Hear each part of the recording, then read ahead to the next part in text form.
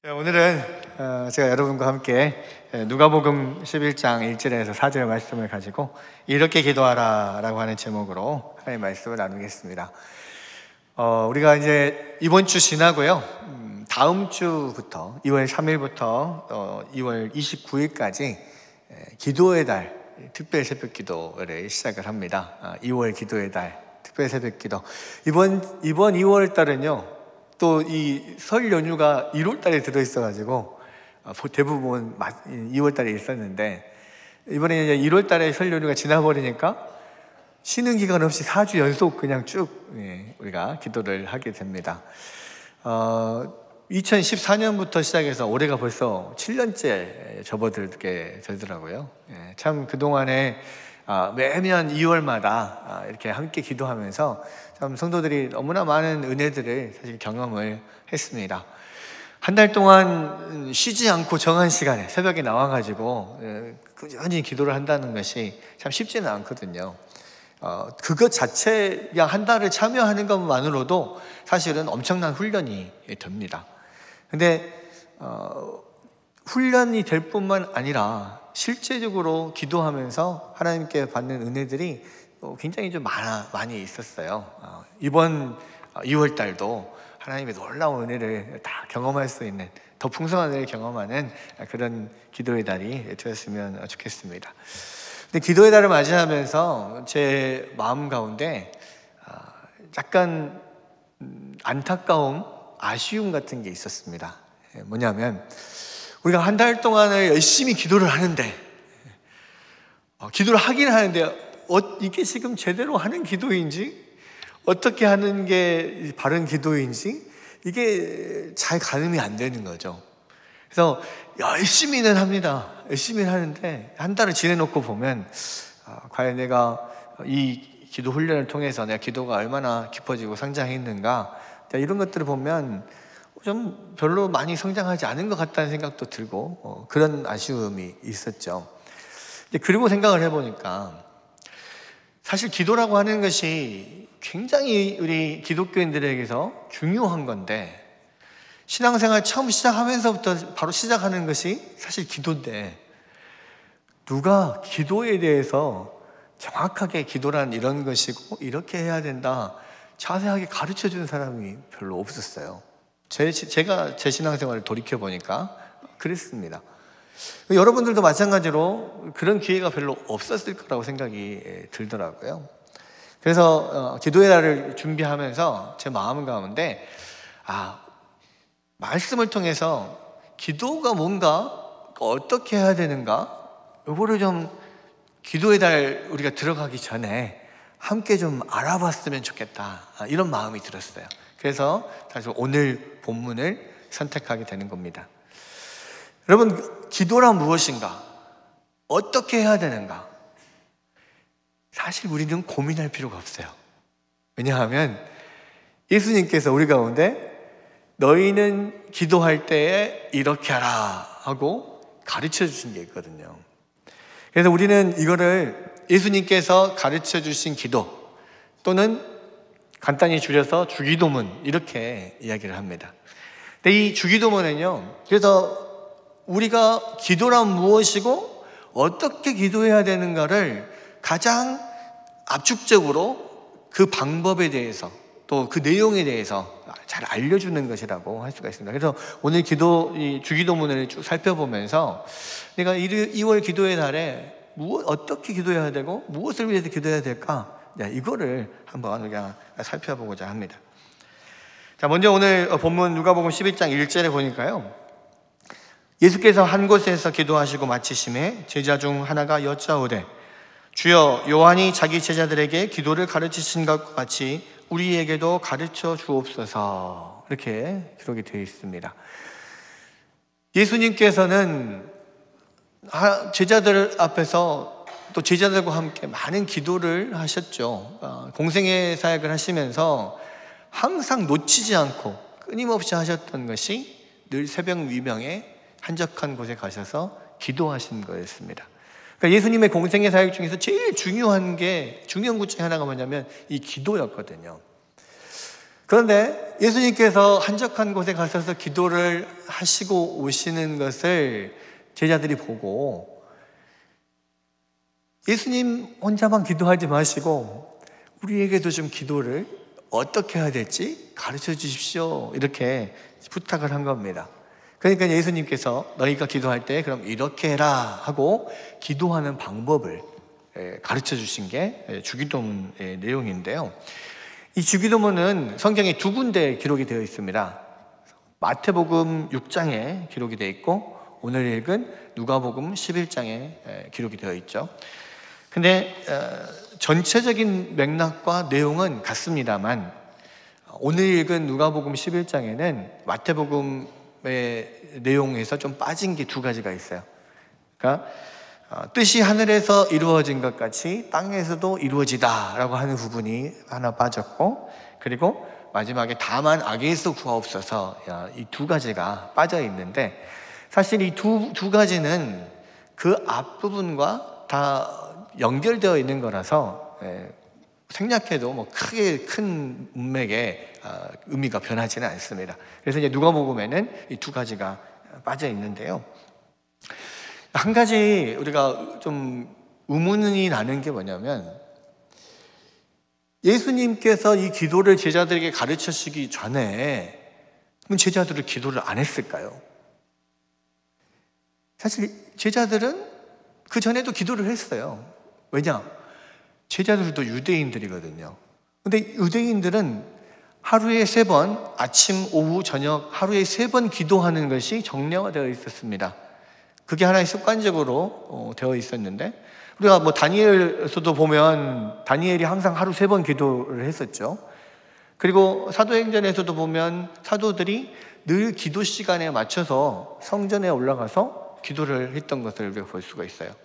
그러니까 원래 유대인들이라면 늘 하루에 세 번은 기도하게 돼 있습니다. 그리고 실제적으로 그들이 어, 주기도문처럼 매번 세 번, 하루에 세 번 기도할 때 드리는 기도문이 정해져 있었어요. 그래서 이제 그것을 데필라라고 하는데 그러한 기도문도 있었습니다. 그러면 뭐 항상 유대인들이기 때문에 하루 세 번 기도하는 제자들이 왜 예수님께 기도를 가르쳐 달라 그랬을까? 그 답은 요한이 제자들에게 기도를 가르친 것과 같이 우리에게도 기도를 가르쳐 주옵소서 이 말에 들어 있습니다. 그러니까 요한이 제자들에게 기도를 가르친 것은 일반적으로 유대인들이 드렸던 기도하고 좀 달랐다는 거죠. 그리고 실제적으로 음, 예수님 당시에는 여러 종파들이 있었습니다. 뭐 우리가 잘 아는 바리세파, 사두개파, 뭐 에세네파, 뭐 이런 성경이 나오진 않지만 에세네파 이런 여러 파들이 있었습니다. 종파들이. 근데 그 종파들이 어, 자신의 어떤 공동체의 기도 제목 또는 비전을 담은 그런 기도문을 자기들끼리 공유하고 있었거든요. 그래서 늘 기도하면서 이 자신들의 공동체의 어떤 비전을 위하여서 함께 기도하는 그런 기도문이 있었습니다. 세례 요한도 그러니까 여기서 요한이 제자들에게 기도를 가르친 것처럼 했을 때 그 요한은 세례 요한이거든요. 세례 요한도 제자들에게 그런 그 자신들의 공동체의 비전을 담은 어, 기도를 가르쳐 줬던 거예요. 그러니까 제자들이 예수님께 그러면 우리 공동체의 비전을 담은 기도도 우리에게 가르쳐 주십시오. 지금 그렇게 이야기를 한 거예요. 그래서 누가복음에 보면 이 주기도문은 개인적인 어떤 기도의 모범이기 이전에 먼저 공동체의 비전을 담은 어떤 공동체의 목표를 담은 그런 기도였다는 것을 우리가 알 수가 있습니다. 그러면 예수님의 공동체의 비전, 어떤 그 공동체의 삶의 목표가 뭐였냐? 그게 이제 주기도문의 전반부에 나오는 건데요. 여기서 뭐 같이 하나님의 이름이 높임을 받으시는 거, 하나님의 나라가 임하는 거, 하나님의 뜻이 이 땅에서 이루어지는 거. 이게 예수님의 공동체, 교회의 비전이고 사명이고 살아가야 될 목표이고 그런 것입니다. 여러분, 음, 이 기도를 이루기 위해서, 이 비전을 이루기 위해서 우리에게 필요한 것들이 있어요. 그 필요한 것들을 간구하는 게 이제 주기도문의 후반부입니다. 그러니까 일용할 양식을 구하거나 죄의 용서를 구하거나 어, 우리를 시험에 들지 말게 하고 악에서 구하여 주시옵소서 이런 어, 기도는 사실은 전반부에 있는 목표 하나, 하나님의 하나님의 이름이 높임을 받으시고 하나님의 나라가 임하고 하나님의 뜻이 이루어지는 그 목표를 이루기 위해서 우리에게 필요한 것들을 간구하는 내용인 것이죠. 그래서 어, 우리가 주기도문을 이렇게 구분할 때요, 뭐몇 가지로 구분을 할 수 있습니다. 그러니까 전체적으로는 아, 하나님을 부르는 아, 부름의 말, 아버지, 하늘에 계신 우리 아버지, 아버지라고 부르는 부름의 말, 그리고 그 다음에 나오는 것은 하나님 청원이라고 그래서 하나님의 높, 하나님의 이름이 높임을 받고 나라가 임하고 뜻이 임하지는 하나님의 하나님의 나라가 이루어지는 하나님의 위한 간구. 어, 이것이 두 번째고 그 다음이 그것을 이루기 위해서 우리에게 필요한 것들의 간구. 그 다음에 예수님의 이름으로 기도합니다 라고 하는 그런 식으로 아, 주님의 나라와 영광이 주님께 영원히 있습니다 그 하나의 이 마지막 그거는 송영이라고 그래서 유대인들이 마지막 항상 기도 마지막에 하는 관용구처럼 붙여지는 겁니다 예, 그것을 이제 우리는 예수님께서 항상 기도할 때 당신의 이름으로 기도하라 했기 때문에 마지막에 예수님의 이름으로 기도합니다. 이렇게 하고 맞추는 거예요. 맞추는 거죠. 어, 그래서 이제 사실 이 기도, 이 주기도문은 공동체 전체의 비전을 담은 기도문이기도 하고 실제적으로 우리가 기도할 때 어떻게 기도해야 될까? 우리가 기도할 때 꼭 들어가야 될 요소들, 이런 것들을 모델로 보여주는 그러한 기도이기도 합니다. 그래서 우리가 기도를 할 때 이 주기도문을 어, 하나의 교과서로 삼고 이 주기도문처럼 그런 주기도문의 형식으로 또 주기도문의 핵심 주제를 우리가 가지고 기도하는 것이 필요하다는 거예요. 그것을 위해서 예수님이 이 주기도문을 가르쳐 주신 것입니다. 그래서요, 주기도문은 우리가 토시 하나 틀리지 않고 잘 외워서 계속 반복하는 게 중요한 게 아니에요. 아, 물론, 어, 틀리지 않게 외우는 것도 중요합니다. 아, 왜냐면 하 이것도 하나님의 말씀이니까 에, 말씀 일정 위력도 틀리지 않게 암송하고 외우고 늘 묵상하는 게 필요하죠. 근데 실제적으로 하나님 말씀이 예수님의 말씀일 뿐만 아니라 주기도문은 우리에게 주어지는 우리 공동체, 교회의 목표를 제시하는 것이고 우리가 실제로 기도할 때 어떻게 해야 될까를 가르쳐 주는 그런 교본이라는 것을 우리가 기억해야 되는 거죠. 그래서 우리가 이제 기도회를 할 때, 기도할 때 어떻게 기도할 거냐? 무엇을 위해서 기도할 거냐? 주기도문에 가르쳐 주신 것을 중점적으로 그 방법대로 기도하면 되는 거예요. 근데 이제 여기서 근본적으로 기도가 무엇인가? 그거를 먼저 생각해 볼 필요가 있어요. 그러니까 기도를 어떤 것을 주제로 기도를 해야 될 것이며 어떻게 기도해야 될 것인가 이것도 중요한데 기본적으로 기도 자체가 뭔가를 먼저 아는 것이 필요합니다. 어, 많은 어, 학자들이요 성경의 기도에 관한 여러 가지 본문들을 연구하면서 공통적으로 어, 기도가 무엇인가라고 정의한 게 있어요. 가장 대표적인 정의는 뭐냐면 기도는 하나님과의 대화다라는 거예요. 그리고 그렇게 하나님과의 대화를 통하여서 하나님과 인격적인 교제를 하는 것이다. 이것이 바로 기도에 대한 정의입니다.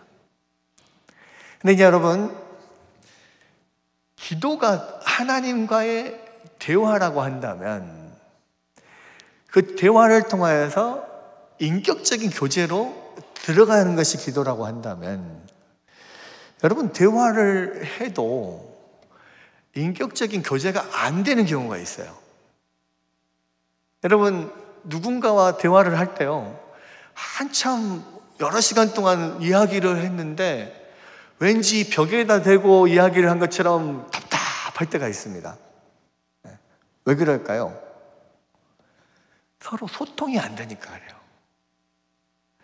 이 소통이라고 하는 것은 뭐냐면 서로가 어떤 이야기를 통해서 인격적인 반응을 서로 하는 것을 이야기합니다.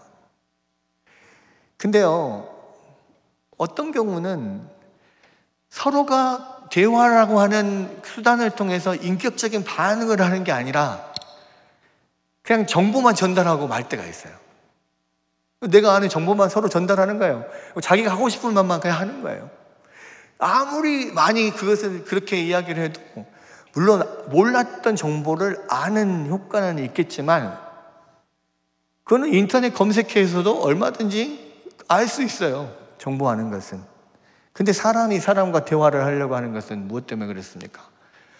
서로 인격적인 소통을 하려고 하거든요.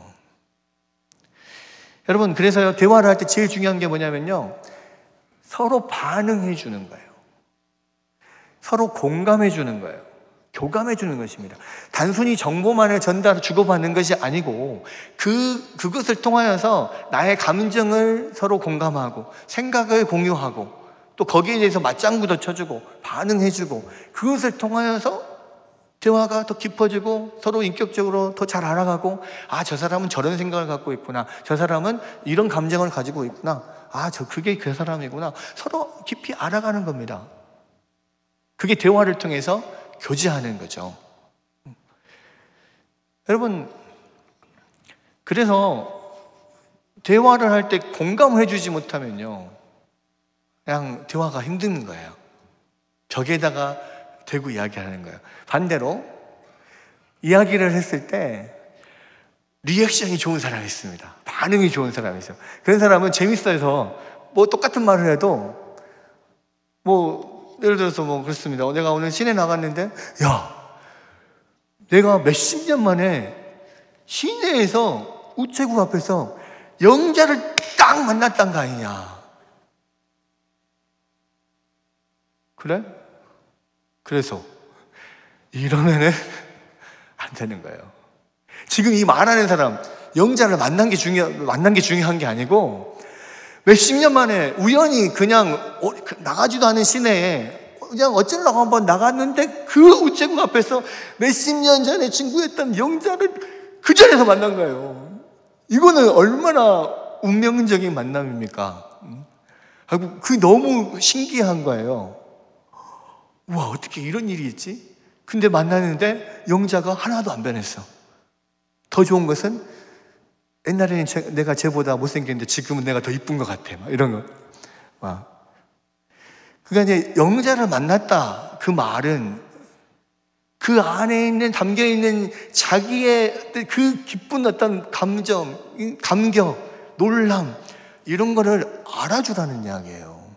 공감해 주라는 이야기입니다. 그 이야기를 듣고 우와 대박! 이야 어떻게 그런 일이 있을 수 있냐? 이야 정말 신기하다. 막 이렇게 반응을 해주면 말하는 게 신나요. 재밌어요. 더 말하고 싶어요. 근데요, 어, 그랬냐? 그래서. 그러면은 말을 하고 싶지가 않아요. 왜? 지금 내가 원하는 것은 그 감정을 공유해 주는 거지 그 사실 정보 전달을 하고 있는 게 아니거든요. 근데 이 답답함이 아, 주로 어느 현장에서 많이 일어나냐면 남편과 아내의 대화 현장에서 많이 일어납니다. 그러니까 아내는 그 늘 말을 하면서요. 그, 그, 공, 그 감정을 공감해 주기를 원해요. 반면에 남편은 말, 누군가에게 어떤 말을 꺼낸다는 것은 자기에게 어떤 이야기를 한다는 것은 그 문제를 해결해 주라고 해결책을 생각해 보자고 물어보는 것으로 생각을 합니다. 그러니까 만났어. 영자를 만났어. 중요한 게 아니고. 영자를 만나서 무슨 일이 있었고 무슨 문제가 있어서 나에게 도움을 청하느냐. 지금 이렇게 생각한단 말이에요. 아만 포인트가 안 맞죠. 그러면 서로가 대화가 안 돼요. 여러분, 대화는요, 그런 인격적인 공감이 있어야 돼요. 정보만 전달하는 게 아니라 감정도 생각도 같이 공유가 돼야 됩니다. 그래야 인격적인 교제로 흘러가요. 근데요, 여러분, 하나님과의 기도, 하나님, 기도가, 기도가 하나님과의 대화이고 그 대화를 통해서 인격적인 교제로 들어가야 된다면 여러분, 기도를 그렇게 하나님과 인격적인 교감을 누리고 인격적으로 반응하면서 우리가 그럼 기독해 하고 있냐 이 말입니다. 왜냐하면 하나님도 위격, 우리 말, 인간으로 말하면 인격을 가지고 계시거든요. 위격을 가지고 계시고, 실제로 살아계시는 하나님이십니다. 지금도 우리와 대화하시고 교제하시는 분이거든요. 눈에는 보이지 않지만. 근데 우리가 기도할 때 대부분 어떻습니까? 내 말만 그냥 막 늘어나요. 하나님 도와주세요. 이게 필요합니다. 그냥 하나 구구절절 내가 한 말만 필요한 말만 쭉 하고 예수님 이름으로 기도합니다. 아멘 하고 끝나버려요. 그러면 어떻게 됩니까?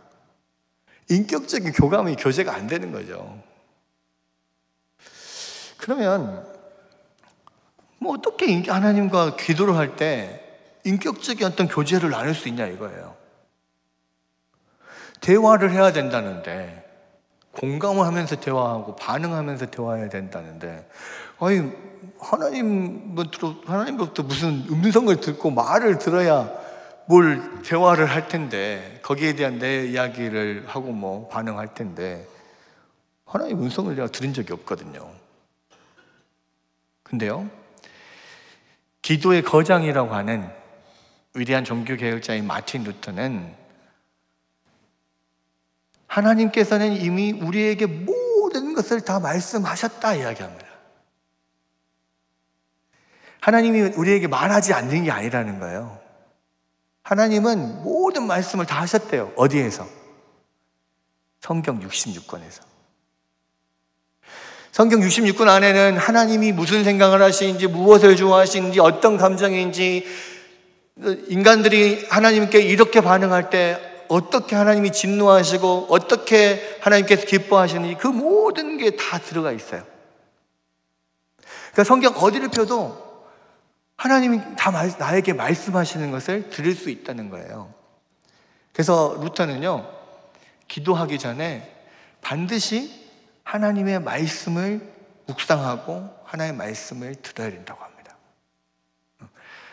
그래서 우리가 새벽 기도 할 때 그냥 모여서 자, 다 모였습니까? 우리 주여 한번 부르고 기도합시다 하고 무조건 기도 들어가는 게 아니고 하나님의 말씀을 먼저 들려줘요.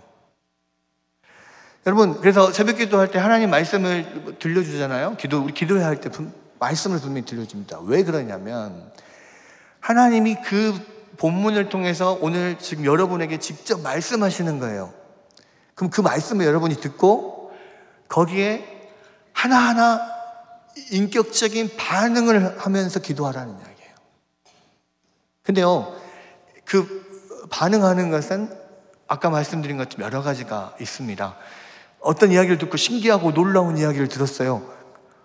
그리고, 우와, 정말 대단한, 와, 너 정말 대단한 일을 했다. 뭐, 이렇게 마음, 그런 이야기를 칭찬하고 막 하는 건 우리는 기독교적 용어로는 하나님을 향해서 그렇게 찬사를 보내고 와 대단하다고 그러고 감탄할 때 우리는 찬양이라고 합니다.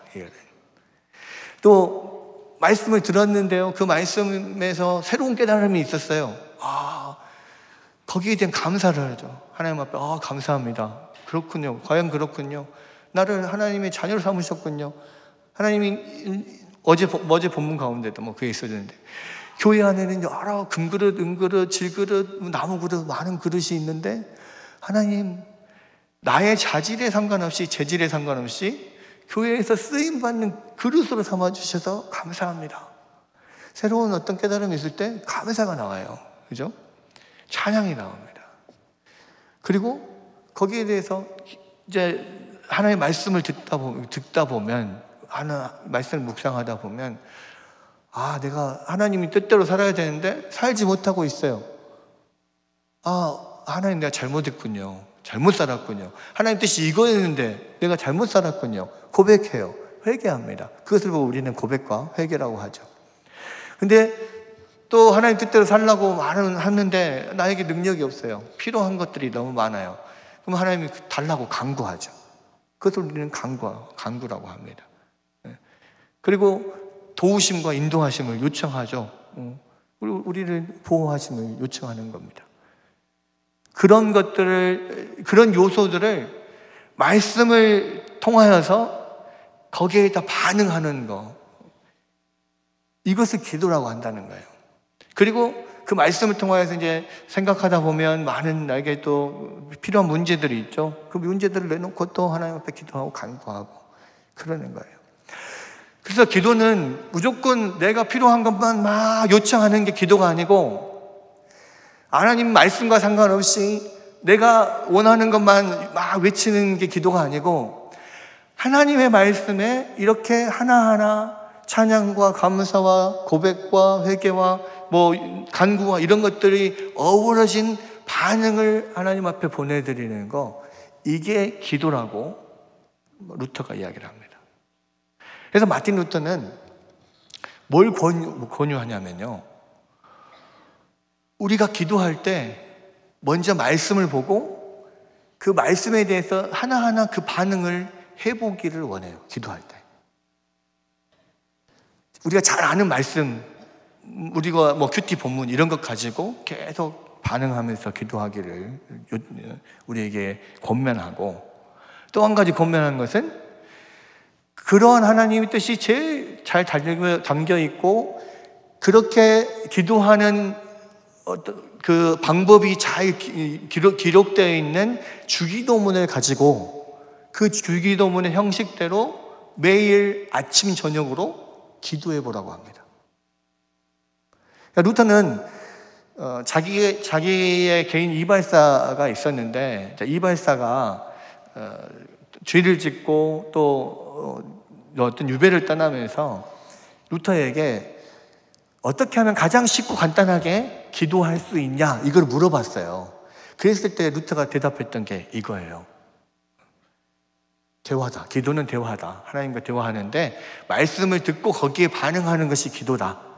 그리고 그것의 가장 대표적인 형식이 주기도문이니까 아침 저녁으로 이 주기도문의 형식에 맞춰서 기도해라. 루터가 그렇게 조언해 줬습니다. 그게 기도에 관한 우리 선배들의 여러 많은 그 문서 중에 어, 굉장히 중요한 그런 문서가 됐고 방법이 됐어요. 지금도 그래서 우리가 이렇게 사실 기도해요. 여러분, 어, 우리 세가족 교육할 때나 우리 처음에 기도를 배울 때 어떻게 기도합니까? 손가락 기도 배우지, 손가락 기도. 손가락 기도. 손가락 가지고 기도를 하는데 어떻게 하냐? 엄지손가락은 하나님 아버지입니다. 그죠? 하나님 아버지 이렇게 불러요. 그 다음에 이 검지손가락, 검지손가락은 엄마 손가락입니다. 엄마 생각하면 항상 고마워요. 그러니까 고맙습니다. 감사합니다. 기도를 해요. 그 다음에 가운데 있는 손가락이 납니다. 나는 맨 말 안 듣고 죄만 짓고 어, 말 들을 게 안 듣죠. 잘못한 거 하나님 잘못했습니다. 죄, 죄송합니다. 용서해 주세요. 하나님 앞에 죄를 고백하는 거죠. 그 다음에 이 네 번째 손가락은 약지 가장 약한 손가락입니다. 그래서 하나님 약해요. 연약합니다. 도와주세요. 강구하는 거죠. 그리고 마지막은 아들이죠. 예수님의 이름으로 기도합니다. 아멘. 그러니까 아버지를 부르고 어, 감사하고 회개하고 또 간구하고 그리고 예, 예수님의 이름으로 기도하는 거예요. 자, 이게 우리가 처음 예수님을 믿을 때 배운, 배운 손가락 기도예요. 근데요, 이게 성경의 기도의 방법을 가장 잘 요약하고 있어요. 그리고 주기도문이 바로 그것을 요약하고 있는. 여러분, 오늘 주님 가르쳐 준 기도를 이게 여기 이 구조로 한번 본다면 하나님 아버지를 불렀잖아요. 그죠? 하나님 아버지. 아버지를 불렀어요. 근데 이 하나님을 아버지라고 부르는 것은 유대인들은 상상조차 해볼 수가 없는 겁니다. 그러니까 성경에 하나님을 아버지로 부르는 분은 예수님 이전에는 없었어요. 근데 예수님이 당신 하나님을 아버지라고 불러요. 하나님의 아, 예수님은 하나님의 아들이신 게 사실이기 때문에 당연한 겁니다. 근데 예수님이 뭐랍니까? 우리도 아버지라고 부르래요. 아니 우리는 하나님 아들이 아닌데 어떻게 아버지라고 부릅니까? 성경은 말합니다. 갈라디아서 4장 4절에 7절에 보면 때가 찬 후에 하나님이 그 아들을 보내사 여자에게서 나게 하시고 율법 아래에 나게 하신 것은 율법 아래에 있는 자들을 속량하시고 우리로 아들의 명분을 얻게 하려 하심이라. 너희가 아들이므로 하나님이 그의 아들의 영을 우리 마음 가운데 보내사 아빠 아버지라 부르게 하셨느니라. 그러므로 내가 이후로는 종이 아니요 아들이니 아들이면 하나님으로 말미암아 유업을 받을 자니라. 여기서 보니까 뭐라고 했습니까? 하나님이 아들을 보내서 그 핏값으로 우리에게 아들의 명분을 얻게 하셨다 그랬고 또 아들의 영을 우리 가운데 보내서 하나님을 아빠, 아버지라고 부르게 하셨다 그랬고 또 그 아들과 함께 하나님 나라의 유업을 이어받을 상속자로 삼으셨다. 입양하였다. 이렇게 이야기합니다. 그러니까 우리는 예수님 때문에 하나님의 아들로 입양이 된 거예요. 그러니까 예수님이 하나님을 아버지라고 부를 뿐만 아니라 우리에게도 아버지라고 부를 수 있는 특권을 주신 거죠. 이게 얼마나 놀라운 일입니까? 이 말을 듣고요, 제자들이 깜짝 놀랐을 거예요. 아니, 어떻게 하나님을 아버지라고 부르고, 어떻게 우리가 하나님의 아들이 됩니까? 동시, 그 전 사람들은 한 번도 생각해 본 게, 해본 적이 없는 사실이에요. 근데 예수님이 우리를 아들로 삼아주셨대요. 예수님께로. 여러분, 얼마나 놀라운 일입니까? 그러니까 당연히 감사와 찬양이 나올 수밖에 없어. 하나님 놀랍습니다. 우와, 어떻게 이럴 수가 있습니까? 그래서 찬양을 하는 거예요. 예수님도 그래서 찬양하는, 찬양을 아버지라고 부르고, 하늘에 계신 우리 아버지라고 부르고, 하나님을 찬양하라고 이야기합니다. 이게 뭐냐? 아버지의 이름이 높임을 받으시옵소서. 이게 왜? 높임, 아버지의 이름이 높임을 받는다는 것은요, 그 아버지 존재가 존귀 여기심을 받는 거예요. 이런 우리 놀라운 일을 행하시는 아버지가 하나님 너무 좋습니다. 너무 대단하십니다. 하나님 영광을 받으십시오. 이렇게 하나님께 영광을 돌리고 최고의 찬사를 드리는 것입니다. 그리고 이것을 아버지의 이름이 존귀 여김을 받으시옵소서 또 기도하잖아요. 나, 나만 하나님께 존귀를 돌린 게 아니고 하나님의 이름이 나에게서뿐만이 아니라 세상 모든 사람들에게서 종기 여김을 받기를 원하는 기도를 하는 거예요. 그렇게 했으면 좋겠습니다. 그러니까 그렇게 모든 세상 사람들이 종, 아버지의 이름을 종기 높이려면 뭐가 이루어져야 됩니까? 하나님의 나라가 이루어져야 돼요. 여러분, 하나님을 찬양하는데요. 하나님의 이름이 높임을 받기 위해서 하나님 나라가 이 땅에 이루어져야 됩니다. 그것이 하나님 앞에 기도하는 거룩한 간구예요. 거룩한 필요를 구하는 겁니다. 하나 님의 나라가 이루어져야 나, 나에게서도 하나님 나라가 이루어지고 온 땅에 하나님 나라가 이루어질 때 하나님이 높임을 받으시잖아요. 여러분 그래서 성경에서요 하나님의 백성들이 찬양하는 것을 예배하게 되는 것을 어, 그러니까 찬양을 하나님, 하나님의 백성들이 찬양한 것을 예배라고 하고 그죠? 그 예배를 모든 백성들이 드리게 되는 것을 그렇게 만드는 것을 선교라고 하는 겁니다. 네. 세상에서는 그래서 시편에서도 그렇죠. 땅 땅의 모든 족속들이 하나님을 찬양할지어다. 그렇게 되게 만드는 게 선교고 그게 하나님 나라를 이 땅에 이루는 거예요. 그것을 위해서 기도하는 겁니다. 하나님의 영광 존귀를 받으시고 하나님의 나라가 하나님의 나라가 이 땅에 이루어지기를 위해서 기도합니다. 하나님 나라가 이루어지면 어떻게 됩니까? 그 하나님 나라에는요, 하나님의 뜻이 다 이루어지게 돼 있어요. 왜냐하면 나라는 세 가지 요소가 있어요. 국민, 영토, 주권. 세 가지 요소가 있는데, 영, 먼저 용, 영토는 하나님 나라의 영토는 지구상의 모든 땅이 다 하나님 나라의 영토입니다. 그러니까 이거는 변하지 않아요. 그러면 하나님 나라의 백성은 국민은 뭡니까? 하나님을 아버지로 부르는 예수 그리스도를 믿는 백성들이 국민이 되죠. 하나님의 나라가 이 땅에 이루어지고 완성되려면 그 하나님을 믿는 국민들이 백성들이 더 많아져야 되죠. 이것을 위해서 우리가 노력하고 기도를 합니다. 그리고 세 번째가 주권인데 주권의 나라의 주권의 영향력을 미치는 범위가 나라잖아요. 그러면 하나님의 주권에 영향력을 미치는 곳이 하나님의 나라입니다. 제일 먼저는 우리의 마음에 우리의 인생에 하나님의 주권 통치가 임하는 것은 이것을 우리 안에 하나님의 나라가 이루어졌다고 하죠. 온, 온 세상 사람들이 하나님의 뜻을 따라서 순종하고 그 주권에 복종하면 온 땅에 하나님의 나라가 이루어지는 거예요. 그래서 하나님의 주권이 주권의 통치가 이루어지는 그것이 뭐냐? 하나님의 뜻이 하늘에서처럼 이 땅에서도 이루어지는 거. 그러니까 하나님의 뜻이 이루어지는 것은 하나님 나라가 임함과 맞물려 있어요. 그래서 누가복음에서는 하나님의 뜻이 이루어지는 것을 지금 생략을 한 겁니다. 결과적으로는요. 하나님의 이름을 높임을 하나님의 이름을 찬양했죠. 하나님 불렀죠. 하나님을 찬양했죠. 거룩한 간구를 하나님 앞에 드렸습니다. 하나님 나라가 임하도록. 그런데 하나님의 나라가 임하는 기 위해서는 그것을 위해서 우리에게 일상적으로 물질적으로 필요한 것들이 있어요.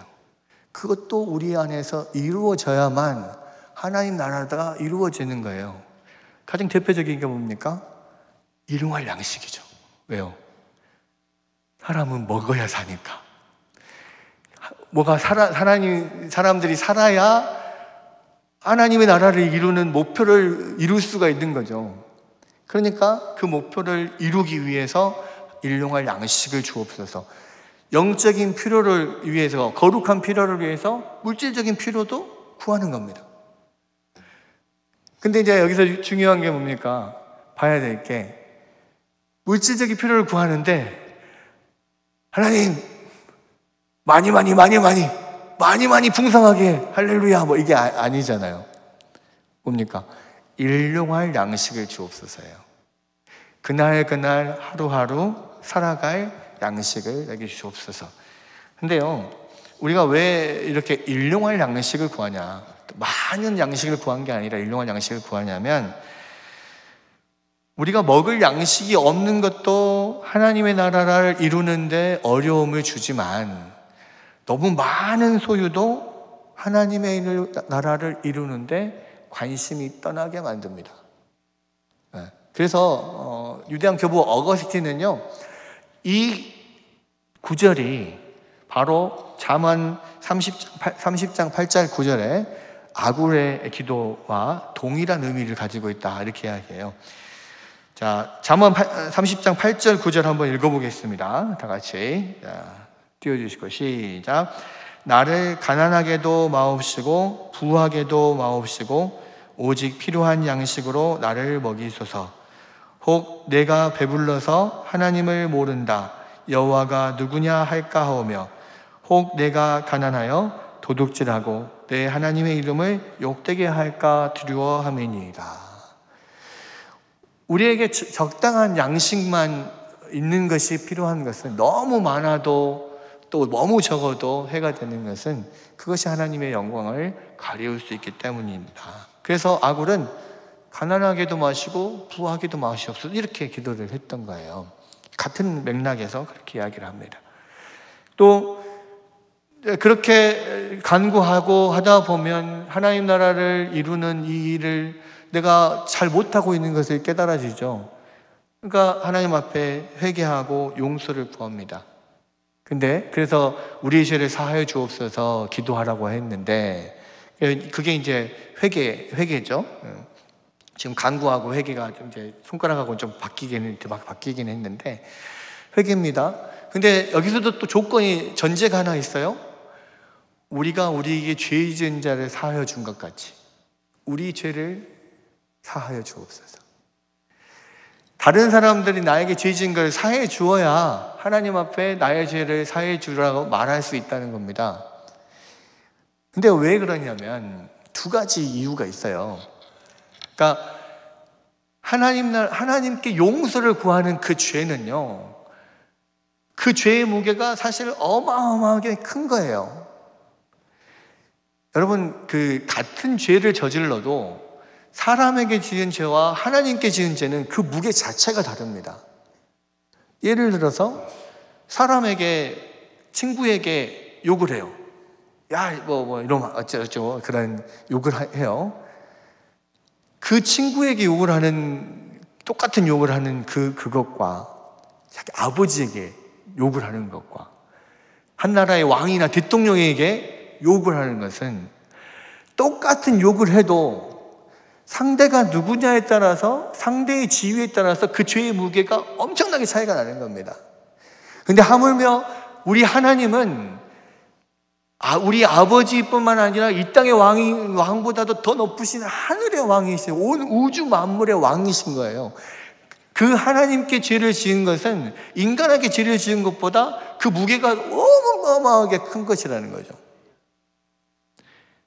여러분, 그 무게 차이는 어마어마합니다. 그래서 예수님이 뭐라고 말씀하셨냐면, 이 말을, 이 용서에 대한 이유, 왜 이웃을 용서해야 되냐라고 했을 때, 1만 달란트의 빚을 진 신하가 왕한테 탕감을 받았는데, 돌아서서 자기한테 100데나리온 빚진 동료를 감옥에다 집어넣어버리는 것을 보고 엄청 그 왕이 진노하고 또 처벌하고 하는 것을 이야기를 어, 하면서 너희가 동료의 죄를 용서하지 않는 것은 이와 같다.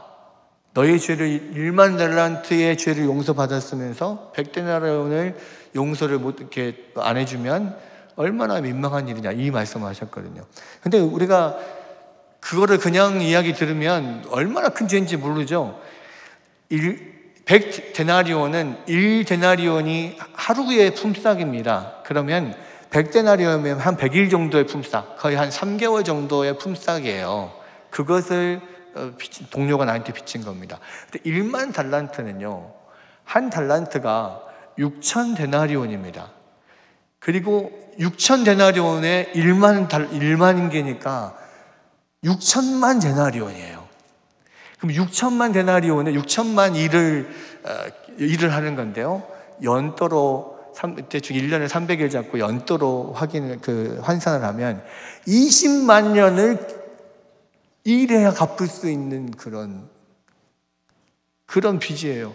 나는 20만 년을 일해야지 갚을 수 있는 빚을 용서받고 탕감 받았는데, 고작 내 동료가 3개월 일하면 갚을 수 있는 빚을 나에게 안 갚았다고 처벌하고 그러면 그게 은혜를 아는 자냐 이 말이죠. 음, 민망한 일이다. 그러면 그 너의 빚을 탕감했던 왕이 음, 얼마나 너를 분노하시겠냐 이 이야기를 하는 거예요. 그러니까 우리가 하나님 앞에 죄를 용서받기 전에 먼저 다른 사람의 죄를 용서해 줄 이유가 바로 그런 것이고 개인적인 이유. 두 번째는 공동체적인 이유가 있어요. 지금 교회 공동체의 최대 목표는 뭡니까? 하나님 나라를 이루는 거예요. 하나님의 영광을 받으시기 위해서 하나님 나라를 이루는 건데, 하나님 나라를 이루기 위한 교회 공동체 안에서 이미 서로가 미워하고 용서 안 해주고 뭐 그러게 있어요. 그럼 뭐 이미 여기는 여기에서부터 하나님 나라는 이루어지지 않고 있어요. 밖에서 하나님 나라 이루어봐야 뭔 소용이 있습니까? 자기 안에서도 하나님 나라가 이루어지지 않고 공동체 안에서, 교회 안에서도 하나님 나라가 이루어지지 않으면 이 기도가 다 쓸데없는 거게 되는 거죠. 그래서 이 공동체 안에서 먼저 하나님 나라를 이루도록 용서해 주라는 겁니다. 나, 내가 하나님 앞에 용서를 빌기 전에. 그리고 하나님의 나라를 이루는 이 일을 우리가 열심히 하다 보면 우리를 방해하는 세력이 있어요. 하나님 나라가 이루어지기를 엄청 싫어하는 세력이 있습니다. 사단의 세력들이죠. 그 사단의 세력들이 우리를 넘어뜨리려고 호시탐탐 우리를 노리고 있습니다. 우리 마음 가운데 욕심을 건드리고 감정을 건드리고 그래서 넘어지게 하고 하나님 나라에서 떠나게 하고 또 직접적으로 여러 가지 공기, 루트의 공격을 통하여서 무너지게 하고 그러니까 우리를 대적하는 대적이 있기 때문에 그 악으로부터 또 시험으로부터 우리를 보호해 주시고 인도해 주십시오. 기도해야 된다. 그렇게 이야기를 하는 거예요. 이게 주기도문의 내용이에요. 그러니까 주기도문은 그냥 외워서 그대로 기도하라, 그, 그대로 외우, 외우라는 이야기가 아니고 이 내용을 포함해서 너희가 기도해야 된다는 거예요. 이 내용을 포함해서 하나님 말씀에 하나하나 반응하면서 하나님과 대화를 하는 것이 기도다. 예수님께서 우리 가운데 그것을 이야기해 주는 것입니다. 사실은 이 주기도문에 대한 어, 설교를요, 여러 시간 해야 되는데, 여러 시간 하다 보면 전체적인 맥락을 까먹어요. 그래서 뭐가 핵심인지 잘 모릅니다. 그래서 오늘 좀 시간이 가더라도 제가 좀 전체를 다 설명을 드렸는데요. 제가 여러분에게 원하는 것은 이 주기도문이 그렇게 이루어졌구나. 이것을 알자는 게 아니에요. 저는 여러분에게 정보를 전달하려고 하는 게 아니라 이것을 가지고 실제적으로 여러분들이 하나님과 대화하기를 원하는 거예요.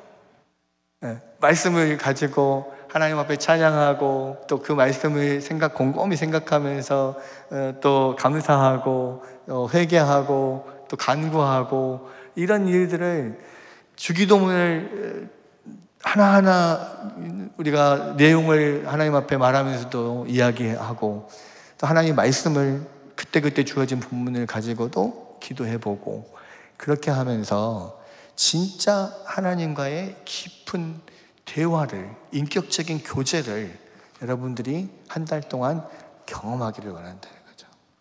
원리는 제가 말씀드렸습니다. 뭐 필기시험을 안 봅니다. 근데 한 가지 여러분 필요한 것은 필기, 실기 워크숍이 필요합니다. 네. 원리를 가지고 한 달 동안 기도해 보세요. 기도의 거장 마틴 루터가 여러분 권면했던 것처럼 새벽뿐만 아니라 저녁까지 아침 저녁으로 또 이 원리를 가지고 한번 기도해 보십시오. 그렇게 한 달 동안 여러분들이 잘 기도할 때 진짜 아 하나님과 깊은 교통함을 누리는 교제를 누리는 그러한 역사들이 여러분 안에 다 있기를 원합니다. 그런 은혜가 여러분 가운데 충만한 특별 새벽 기도 기도의 달 되시기를 주님의 이름으로 축원합니다.